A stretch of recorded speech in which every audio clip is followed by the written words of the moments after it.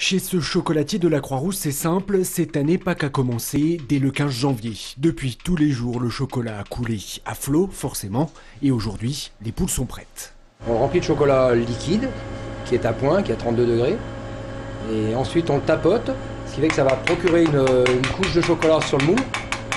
Cette opération, on va la répéter deux fois, et ensuite on va faire cristalliser le chocolat.